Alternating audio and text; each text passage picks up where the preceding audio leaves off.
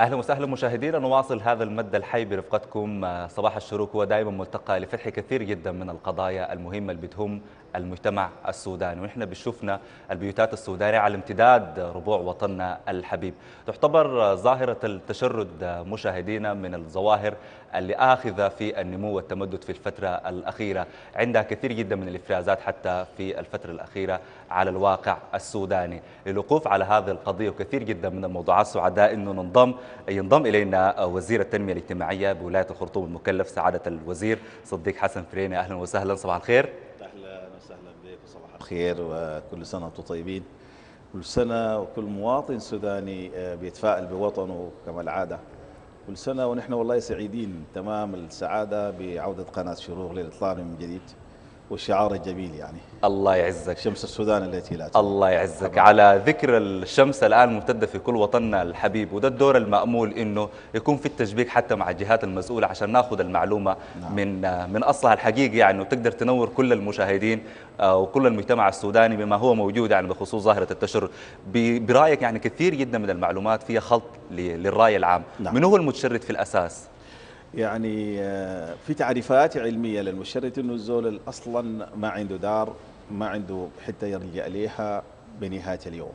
ما كلنا نطلع من بيوتنا ونجي راجعين بيوتنا. أيوه.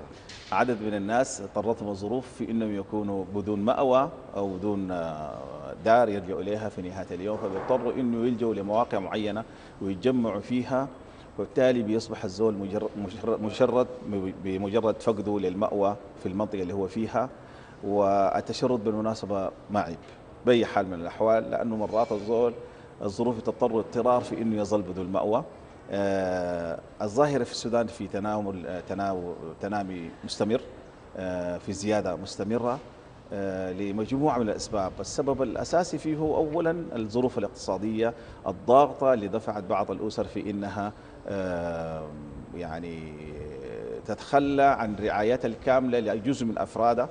فبالتالي هم بيلجأوا للمواقع العامة للبحث عن يا مصادر رزق أو يلقوا بس الحاجة البسيطة اللي بيأكلوها آه، عشان يغطوا بها إحتياجاتهم الآنية. التشرد نفسه عندنا نوعين من أنواع التشرد. في تشرد آه، كامل وده زول جاء من منطقة بعيدة جدا فبالتالي يكون حاي في مواقع اختارها وانتخبها هو بعناية عالية جدا. في تشرد جزئي الزول بيطلع مرات يقعد برا البيت يوم ولا يومين أو مرات بيطلع من الصباح بدري ما بيرجع ثاني الليل نص الليل. فالتشرد آه، أنواع مختلفة فيها فئات مختلفة. آه، نحن مطالبين كأجهزة رسمية وكمجتمع منظمات مجتمع آه، مدني في ولاية الخرطوم تحديدا. إذا كانت منظمات وطنية أو منظمات دولية في اننا نتعامل مع الظاهرة دي بصورة جماعية لأنه إرادة الجمعيه صراحة مطالبين بها السبب الثاني لخروج الناس من اسرهم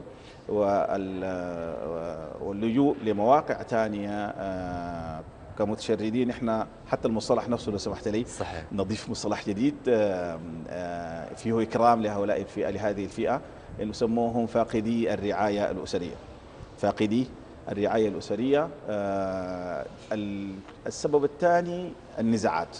أنت بتشهد معي إنه السودان من الدول اللي شهدت نزاعات متطاوله على عدة عقود يعني من الزمن وما زالت هذه النزاعات مستمرة حتى يعني الشهر الماضي والشهر قبل الماضي. على على سبيل المثال عندنا عدد من الأسر اتحركت من الدمازين وصلتنا في الخرطوم. هنا عندنا عدد من الأسر تحركت في جنوب كردفان الإحداث الأخيرة وصلتنا هنا. عندنا أسر من من دارفور عموما الإحداث الأخيرة برضه وصلتنا الخرطوم. ودي كلها شكلت ملمح من ملامح عدم الرعاية الأسرية لفئة ما صغيرة بالإضافة للناس الجاي من خارج السودان. طيب. في الجانب ذاك صراحة يعني. آه، سعادة الوزير. طبعا أنا كمقدم راي يوم كل الجوال اللي عايز أتكلم فيها أنت تطرقت ليها لكن الحديث عن المواضيع دي بالذات ورؤوس المواضيع ما بتختصر المساحات الضيقة مؤكد. طيب لو تكلمنا نمشي تدريجيا عشان نمشي للمعالجات نعم. إذا كان الأسباب عندها جوانب اقتصادية وجوانب سياسية وجوانب عندها علاقة بالأسر وتفكك الأسر نفسها يعني نعم. نعم. فكيف بنقدر نحصر ديل كلهم ونتعرف عليهم هن هم المواطنين حقيقيين من السودان ولا أجانب على ذكرك يعني طيب نحن آه، كوزارة التنمية الاجتماعية ولاحظ من اسم الوزارة اسمها تنمية اجتماعية.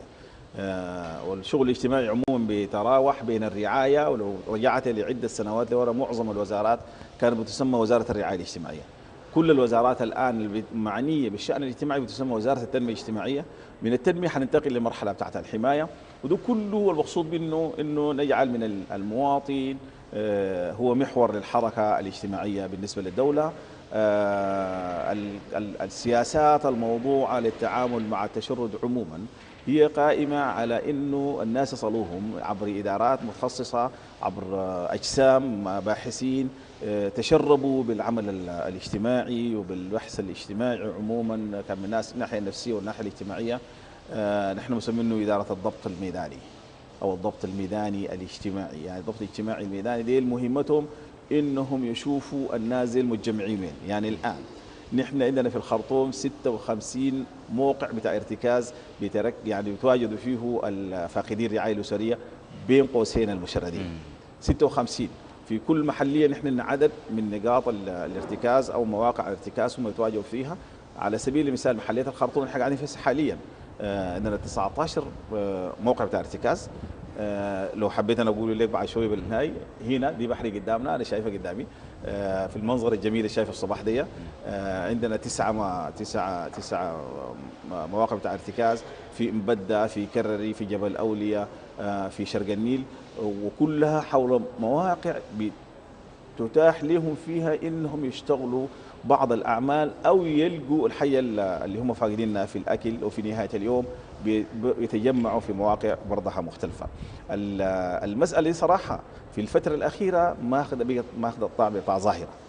طيب الفئات دي ذاتها لو نحن عينا لها في ظواهر برضه اجتماعية جديدة صراحة يعني إذا كانت المسألة دي آه، فيها فئات عمرية مختلفة للناس اللي بيمدوا يدهم إذا كانوا متسولين أو مشردين لمجرد التشرد العام زول ما بيسألك لكن كل ما لقى موقع بتاع تجميع نفايات بيمشي يكبر فيها عشان يشيل ويأكل ودي الحكاية نحن قلنا إنه ما في مجتمع ناجح مطلقة ممكن يمشي لقدام إذا كان في زول بيأكل ويشيل يودي الكوشة ويجي زول من الكوشة يشيل عشان يأكل. دي معادلة صعبه اجتماعيا إنها تستمر ودي واحدة الحياة المقلقة بالنسبة لنا كحكومة لولاية الخرطوم طيب.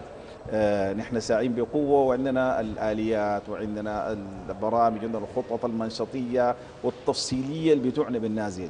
آه لو سمحت لي يعني أنا طبعا مرات بجر الكلام يعني.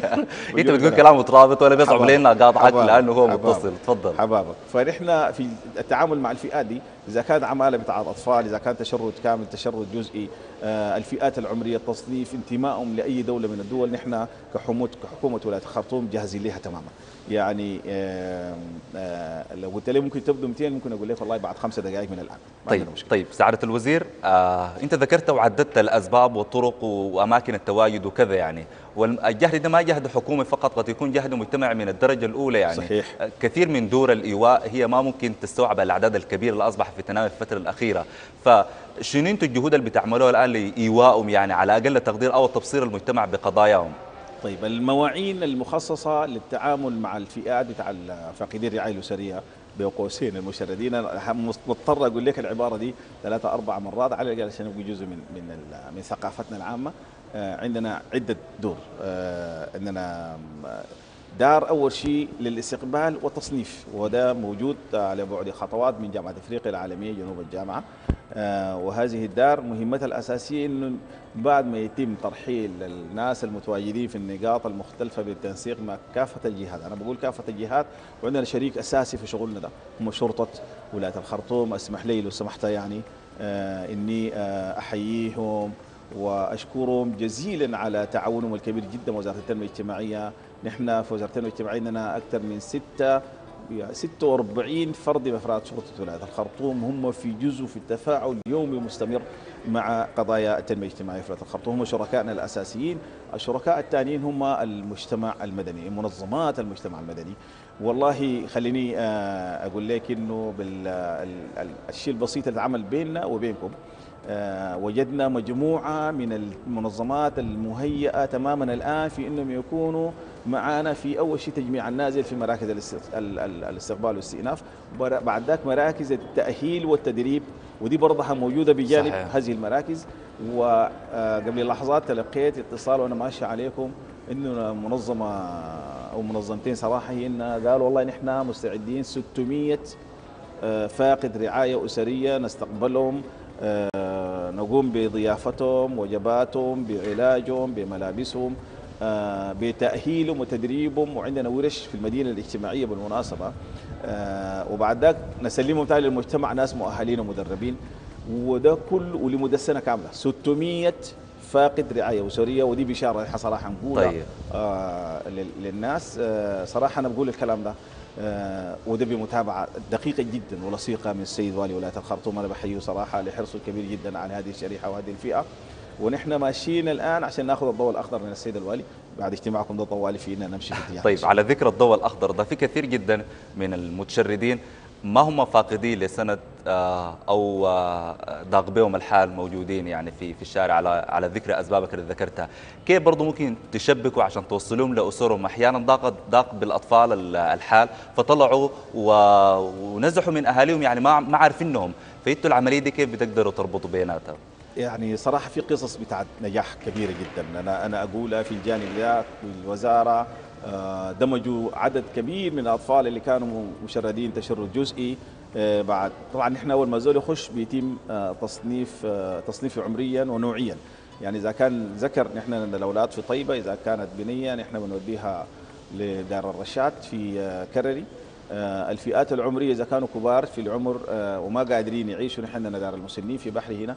وإذا كانوا من المسنات عندنا دار المسنات في ال- السجانة عموما بنتعامل مع الحالة دي. طيب الزول اللي طلع بعد ما يتم استقبال والتعامل معه بحثيا نفسيا اجتماعيا صحيا بالمناسبة لأنه مرات الزول أنا عندي تجربة أمس كنا بنناقشها في الوزارة في مكتبي هناك إنه والله في واحد من المشردين آه، مضغطي واحدة من الباحثات الأمينات جدا على مهنتها وصلتها هناك ولقيت إنه والله عنده عنده جرح كبير جدا في رجله زي ده نحن نشيله ونمشي نحطه بدون رعاية آه، صحية ممكن يفقد حياته تبقى لنا بعد ذاك اشكاليه فبيتم تصنيف هؤلاء الناس آه، عمريا نوعيا صحيا اجتماعيا وبعد ذاك آه، بتتعمل برضه استمارة بتاع الدمج لأسرته. لأنه أول ما يتعرف إنه أسرته وين بي يعني يتم الاتصال بالأسرة يا جونا ونحن شلنا الطفل ده إذا كان طفل صغير وصلناه لأهله بعد ذاك عملنا دراسة بتاعت حالة لهذه الأسرة. وهنا بيجي بعد ذاك الدور في إنه الشافعي ده نحن خليناه بوضعه. اللي وديناه به ممكن للأسف الشديد يجي طالع ثاني ويتشرد من جديد. يجب إنه يكون في تعامل مباشر مع احتياجات الأسرة. على الاقل عشان الاسره تكون متماسكة وعندنا تجارب صراحة كثيرة بتاعت نجاح. جميل. في الجانب أنا الصراحة أشيد بكل الباحثين الاجتماعيين في وزارة التنمية الاجتماعيه جميل. طيب آه بالضرورة نتكلم عن الجانب اللي بيهم الظواهر السلبية اللي أصبحت آه، تتنامى في المجتمع بصورة في الفترة الأخيرة الكبيرة وأنت ذكرت على ذكر أنه لازم يكون في تأهيل جيد بالنسبة قد ما تكون خطيئتهم وحدهم يعني آه فبرضه يتم تدريبهم وتأهيلهم بشكل نفسي واجتماعي كبير. فكيف برضه جهودكم في الحد من الظواهر السلبية اللي ال- اللوم الكبير بيقع على عاتق المشردين وهم قد يا لا يمتلكون الأساس من الأساس يعني؟ كتر خيرك. إنت طبعا لأنه ذكي جدا طرحت الحكاية يعني مغلفة بستان جميل كده. لكن خلينا نقول ظواهر اجتماعية جديدة المقلقة السالبة جدا هو النظام التسع طويلة ممكن تقولها يعني. آه، جزء من إفرازات الوضع الاقتصادي السيء جدا. جزء منه تناول الهائل جدا للمخدرات في الشوارع من الفئات الشبابية عموما. جزء منه ال- الحالة بتاعت آه، ال- ال niggers اللي كانت ظاهره من ظواهر المجتمع الخرطوم في فترة من الفترات. دي من الظواهر السلبية اللي ظهرت لنا. آه، أنا في دي بقول نحن ما برانا كوزارة التنمية الاجتماعية. آه، بن- بنتدخل فعلا لأنه مرات الزول نتيجة لوجوده في الشارع وتعاطيه للسليسيون لفترة طويلة جدا وإحساسه يعني فقد رعاية المجتمع عموما. رغم إنه لجوء ال- الشخص نفسه للشارع العام هو زي اللي بيطلب الحماية العامة من المجتمع بعد ما فقد الحماية من أسرته الصغيرة بالمناسبه لأنه مرات الطفل أو الشاب أو الشابة بيتعرض لعنف يا اسري يا قانوني يا غير يا غير فبيضطر يطلع من الحتة اللي هو فيها ويجي يطلب الحماية من الشارع. مع إنه الشارع مرات بيحمي بالمناسبه يعني مرات الزول يكون قاعد بيكون آمن جدا إنه والله أنا في الركن بتاع العمود اللي قاعد فيه ده لو هوشني زول بصرخه ساي الناس حيجدوه فده جزء من طلب الحماية من المجتمع كله. آه، من هنا صراحة بيجي دور منظمات المجتمع المدني في إنه نحن مفروض كل هذه الظواهر مع بعض نتعامل آه، معه تعامل علمي يتم دراسة كل حالة على حده ويتم تحديد إحتياجاتها الآنية والمستقبلية إذا كانت حاجات نفسية ولا اجتماعية ولا مادية ولا اقتصادية ويتم بعدك تصنيفها وتنسيبها للمؤسسات اللي بتقدم الخدمة لهذه الشرائح. وأنا آه، في تقديري نحن كمجتمع سوداني من خلال حرصنا الكبير أنه المجتمع يظل متماسك قادرين نتعامل مع الفئات دي لأنه الأرقام اللي عندنا ما بيشير إنها أرقام كبيرة لكن الظاهرة اللي تنقلها وحركتها المزعجة في بعض الحالات للظواهر الاجتماعية هي يعني بتبقى زي زي زي آه، سبب أساسي للقلق العام والإهباط العام اللي إحنا حاسين به حاليا. أنا أها. داير أطمن إنه حكومة ولاية الخرطوم في الجانب دي وضعت كافة الترتيبات في التعامل مع هذه الظاهرة إن شاء الله. وهتسمعوا. طيب. طيب آه، سعادة الوزير في جزئية أخيرة. لو تكلمنا كثير من المعلومات اللي بدأت تنشط في الفترة الأخيرة حتى على ظهور المتشردين الأجيال الموجودين في السودان كيف ممكن نحد الحاجة دي؟ ويتم التنسيق مع بلدانهم لإيوائهم هناك. كتر خيرك. ال- الظاهرة طبعا المسولين كمان سبحان الله. المتسولين نعم. سريعة نعم سعادة المسولين الوزير صراحة آه، ظاهرة جديدة في التقاطعات ال- في تقاطع الطرق في الصواني طريقه اللبس الإلحاح والتسول. طبعا هو جاي من حاجة سؤال يعني. ونحن والله مطالبين من خلال قيمنا الرفيعه نحن السائل ده ما نرجعه ولا ولا ما ننهر يعني. لكن بنقول إنه المجتمع السوداني لأنه يده ممدودة بالعطاء. آه، كثير جدا من الدول اللي نحن كنا شايفينها يعني آه، صعب إنهم يجونا السودان جونا. واستقبلناهم بطيب خاطر.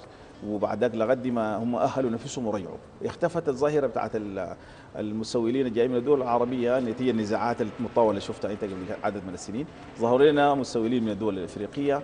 دائما التنسيق بيننا آه، كحكومة بتاعت ولاية الخرطوم على رئاسه السيد الوالي بيتم التعامل مع وزارة الخارجية لأنه نحن قلنا المشردين يتجمعون عبر الآليات بتاعت الرعاية الاجتماعية والتنمية الاجتماعية والشرطة وغيرها من الآليات المختلفة بنخطهم في الدار بتاع تصنيف. أول ما يتم تصنيف إنه يقول والله يا أخي عندنا آه، خمسة من المتسولين تابعين لدولة من الدول. ما خليني ما ما أسمي الدول دي شنو لا بالنسبة لنا نحن معروفة. بيتم الاتصال عبر مكتب السيد الوالي بوزارة ال- ال- الخارجية آه، عبر الشرطة بيتم تسليمهم وتسفيرهم لدولهم بالتنسيق الكامل بين الخارجية والولاية ووزارة الداخلية بتكمل لهم اجراءاتهم نحن في الجانب دي بيفتكر إنه الحكاية محتاجة لحراسه لحدود السودان عموما لأنه زول مرات آه، بيخش ممكن يبقى إتجار إتجار في البشر للأسف. الشديد.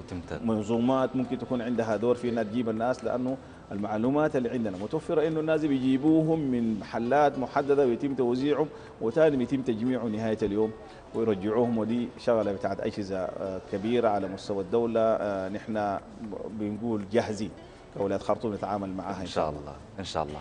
سعادة الوزير والله الحديث عن الملفات دي ورؤوس المواضيع ممكن ما تختصروا المساحات الضيقة ونحن مقدرين لحضورك صباحا وتبشيرك بكل المشاهدين على الواقع بخصوص المتشردين بخصوص أيضا وزارة التنمية والرعاية ال- الاجتماعية في هذه القضية الكبيرة. أنا مقدر جدا سعادة الوزير صديق حسن ريني محاور لوزير التنمية الاجتماعية بولاية الخرطوم المكلف على حضورك صباحا وإن شاء الله نلتقيك في مساحات ثانية حتى نفصل في كثير من المحاور والأزمة التي تدور في عقل المشاهد السوداني. كتر خيرك. كتر خيرك وبارك الله فيك. وما نسينا نحيي الشعب السوداني كله بعد الاستقلال. وبداية جديدة إن شاء الله إن شاء وسنة الله. جديدة إن شاء الله.